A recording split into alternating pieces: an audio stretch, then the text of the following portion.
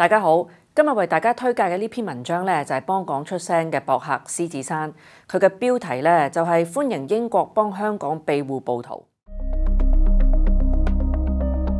英國報章報導，首相約翰遜喺一個會議上向與會者透露，佢嘅政府正喺度草擬一個計劃，就係如果中國進一步向香港施壓，英國將向港人提供庇護，但英國準備提供嘅究竟係黑衣暴徒政治庇護，三十一萬五千個 BNO 持有人同埋佢哋嘅家屬嘅居英權，還是七百多萬個港人都可以享有居英權？報道卻是語言不詳。不管這則新聞是真是假，但打直看打橫看，這都是一個好消息。尤其對於那些覺得香港是亂世嘅黃絲和革命受打壓嘅港獨暴徒嚟說，英國若真嘅肯提供庇護，簡直就是天降橫財一樣，佢哋肯定開心過中六合彩頭獎，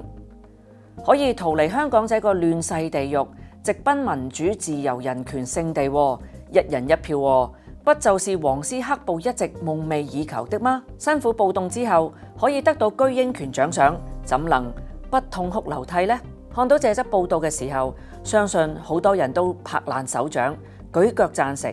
原因是香港終於有一個清淤血嘅機會，難得英國肯幫香港藏污納垢、庇護暴徒，這份高尚情操，希望約翰遜真的可以做得到，不要口爽荷包乾，到時又食言。英國提供居英權，那些反對立法會保護中國國家安全嘅人，歡迎佢哋早走早着，早日離開香港去英國。不要終日留在香港鬱鬱不得志，免得影響自己健康。同時不斷為社會輸出負能量。英國提供庇護，對香港嘅攬炒暴徒是天降嘅福音，對守法嘅香港人也絕對是好消息。倫敦願意出錢養香港嘅暴徒，香港嘅監獄可以省掉一大筆，好事一桩。覺得香港是亂世嘅人，因為做暴徒得庇護，或因為 BNO 得居英權。如今都有了歸宿地，可以移居英國，名正言順做英女王嘅順民，好過做中國特區嘅刁民。不當自己是中國人嘅人離開香港，就像烏雲飛走了；留下來繼續在香港生活嘅人，就像守得雲開見月明，無需終日再見咁多戀殖米字旗、星條旗眼冤。暴徒若獲英國政治庇護嘅話，香港可以更早回復平靜，